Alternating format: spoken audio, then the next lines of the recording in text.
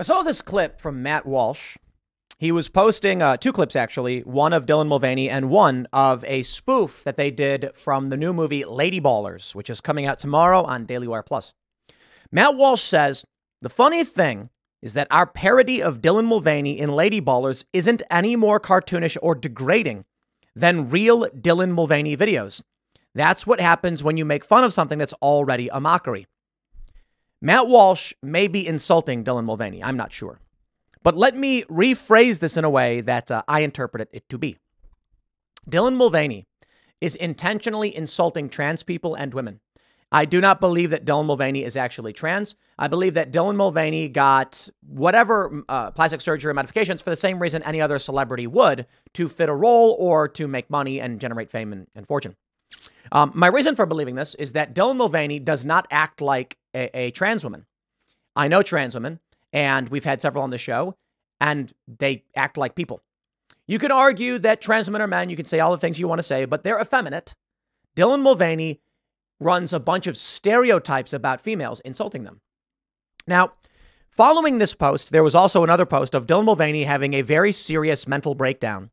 And I think this is an example. Uh, uh, uh this is what we've been warning about when we've actually been.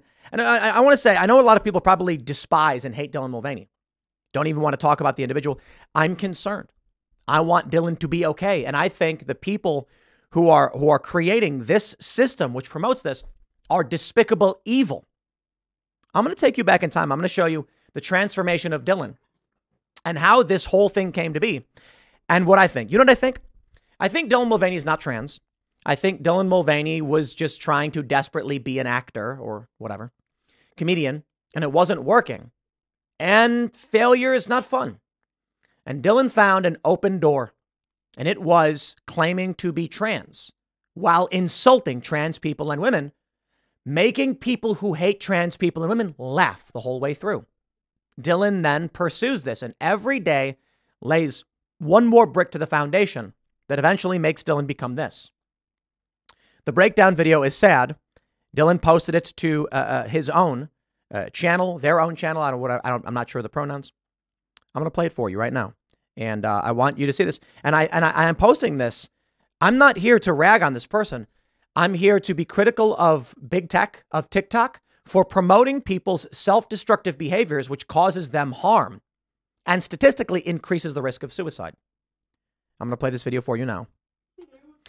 Yes, okay. This one's going to be rough. It's supposed to be a crying day. Why do I always feel like crying? Why do I always feel like crying? Don't do it, Dylan. Don't you dare. No! I feel a little better. Why do you always feel like crying? Man. Well, I want to show you the clips that Matt Walsh brought up because I believe it proves that Dylan Mulvaney is not trans, or I believe it uh, presents strong evidence. But uh, I actually want to show you uh, Dylan Mulvaney's own uh, uh page. Going uh, way back in time here, it's actually relatively difficult to get all the way back to the beginning. I've showed this before, shown this before, but I think it, it really does matter. And look, I know a lot of people are like, who cares about Dylan Mulvaney? It's not about Dylan as an individual. Although I am deeply concerned about Dylan's health and safety, and I don't believe there's anyone there who actually cares for this individual. I think the issue is how social media algorithms are encouraging this and what it leads to. If you go back to Dylan Mulvaney's earliest posts, um, some of them have a lot of views. Uh, Gay Koala King has 10 million, 11 million, nearly. And you can see that Dylan was trying to do some kind of animal content, animal news presenter content. And it didn't really get a whole lot of traction. Now, of course, now the videos have half a million plus, and it's likely because with Dylan's fame, people have gone back and watched old videos. But you can see that there was a certain period where this really wasn't generating a lot of attention. And then eventually, there was a change. And some of them did, some of them didn't. But all of a sudden, Dylan entertains this first from being gay to then being a they. And this is when things start to change. Interviewing animals still not doing all that well, non binary coming out. And then you can see there's a certain point where the views actually start going up when Dylan embraces more trans uh, content wearing dresses. In this post, it says, I'm a trans non binary actor and have had trouble finding roles. That right there, I believe, is very strong evidence of exactly what I'm talking about. Dylan Mulvaney is not actually trans. Why? Dylan Mulvaney was posting content as a gay man only a short while before this. So Dylan Mulvaney was not presenting as trans non binary to these various uh, acting agencies or auditions unless Dylan was doing it privately in public settings for public productions, but not on their own accounts. No, I think what happened is Dylan uh, found a path towards success in the non binary stuff and then created this account claiming that I'm having a hard time doing this as a trans person, despite the fact that they had not been doing that for very long at all. Gender euphoria, more now 1.3 million views. And this begins the process of, hey, I'm coming out, full coming out video, 5 million views. It's a they.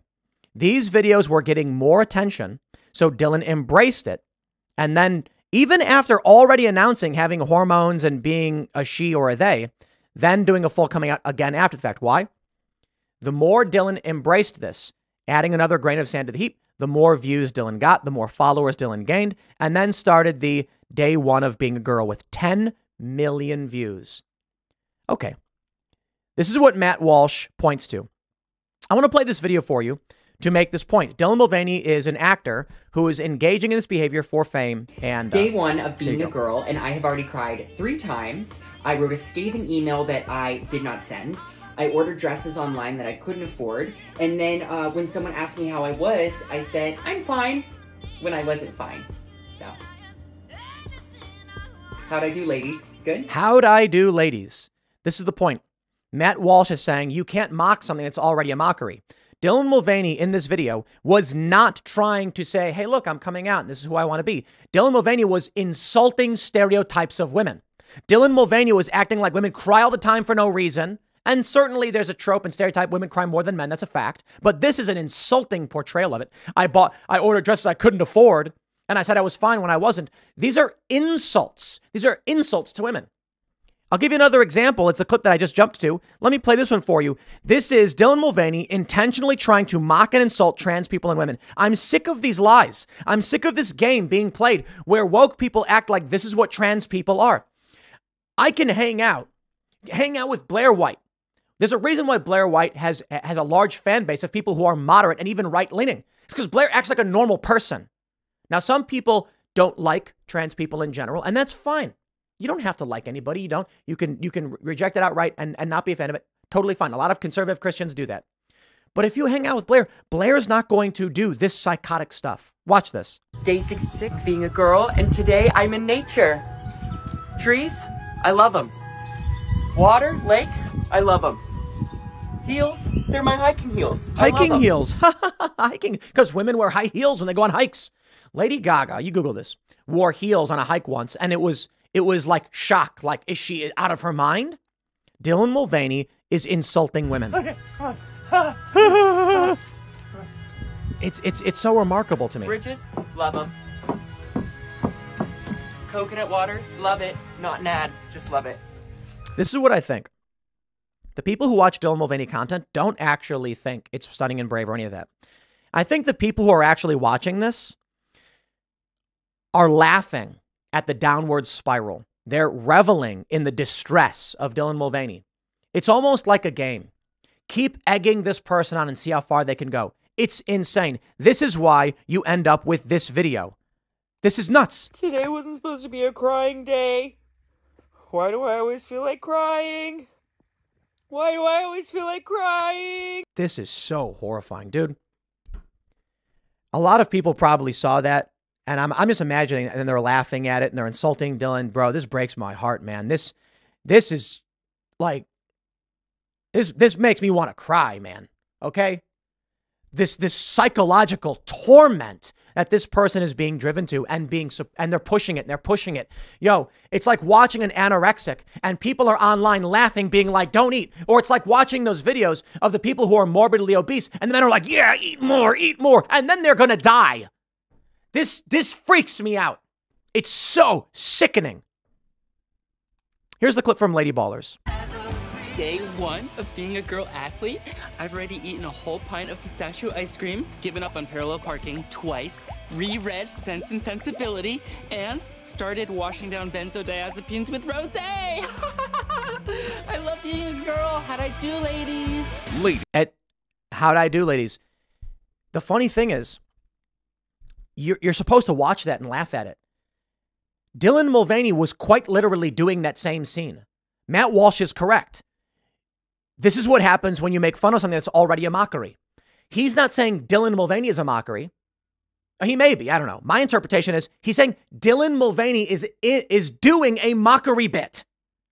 He's saying that Tyler Fisher and Dylan Mulvaney are doing the same comedy bit. And here's what happens Dylan Mulvaney is trapped in this world, continually going down the path, trying to chase the dragon as gawkers on the internet laugh and say, Do more, do more, destroy yourself. It started out as a comedy bit. Dylan just wanted clicks, and it worked. And Dylan chased after it as people online and TikTok goaded him on to destroy himself. Now herself. And now Dylan says, I feel like crying all the time. And I'm like, man, yo, there are sick and evil, twisted people out there. I wonder if you could stage an intervention for someone like Dylan, for Dylan, and they'd be like, I wish I never did this. This is how messed up the internet can be. TikTok encouraged it. People egged it on. They cheer for it. Why? I don't know, man. Because it was entertaining to them. That's crazy. And all these people that are like cheering for this, make your excuses for this horrifying video of Dylan having a mental breakdown saying, I'm crying all the time, all the time. Yo, that's serious depression, man. Someone needs to help Dylan Mulvaney. They're famous. That's why I do this video. Otherwise, I wouldn't bother. But I warn, it's not, a, it's not about Dylan. It's about what the internet does to people in shattering their brains. I'll leave it there. Next segment's coming up at 6 p.m. on this channel. Thanks for hanging out, and I'll see you all then.